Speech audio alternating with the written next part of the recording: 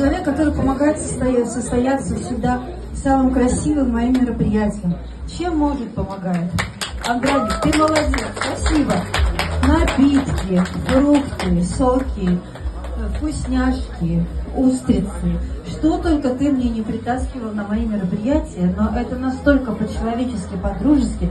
Даже когда мои мероприятия проходили в самые последние моменты, я вообще не хотела отмечать их. Ты настаивал на том, чтобы это было. И вот эти твои Паша Рест, как они называются правильно? Падишах. Падишах. Андраник меня вчера первым поздравил, кстати, с днем рождения. Я не могла не выложить это в Инстаграме. Кстати, она меня вчера выложила в сторис свой, за что большое спасибо. Там и реклама пошла по Дершах и так далее. Ну, я всего от чистого сердца. Мы с Настей дружим уже больше 10 лет. И всегда, вот э, она просто говорит про меня, как я ну, помогаю чем-то, а как мне не помочь, если, например, у моей группы презентация, и она может мало того приехать туда на эту презентацию, с собой притаскать всех журналистов, все первое телевидение и так далее, и пропиарить. Их не надо тащить, они сами приходят. Зачем тебя звать? Меня звать не надо, я сама прихожу.